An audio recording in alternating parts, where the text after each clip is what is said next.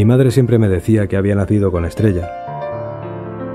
Pero cuando miro al cielo y veo todas las que hay, me doy cuenta de que ella no se refería a que fuera algo único, sino a que todos llevamos una estrella en nuestro interior.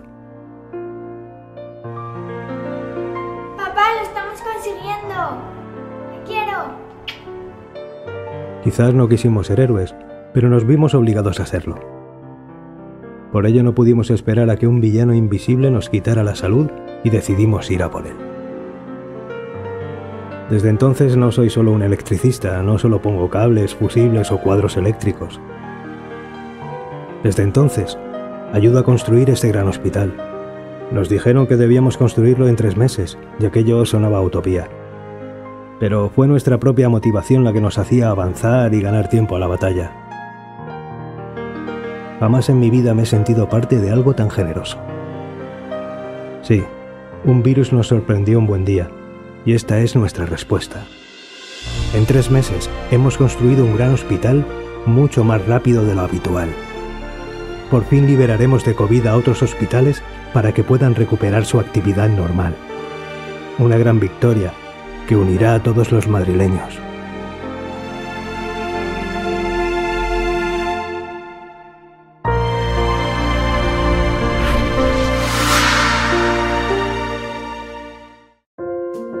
Isabel Zendal fue la primera enfermera española que dejó su huella en la historia. Nacida a finales del siglo XVIII en una pequeña aldea gallega, pronto fue camino de la ciudad para encontrar trabajo. Allí, su patrón, que vio que valía más que para criada, la puso al mando del Hospicio de Niños Abandonados de La Coruña. Allí vino a visitarla el doctor Balmis. Buscaba niños para llevar la vacuna de la viruela a América en una expedición tan original como arriesgada la Real Expedición Filantrópica de la Vacuna.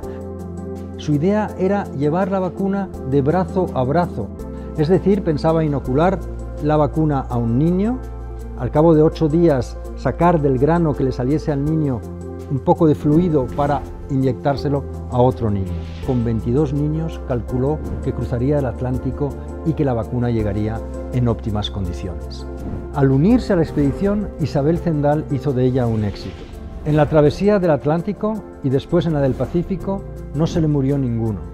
Es más, contribuyó con el doctor Balmis a organizar las primeras campañas de vacunación masivas de la historia, lo que marca un antes y un después en la historia de la medicina. Si los ingleses inventaron la vacuna, los españoles, los miembros de esa expedición, con el doctor Balmis e Isabel Zendal a la cabeza, inventaron la vacunación.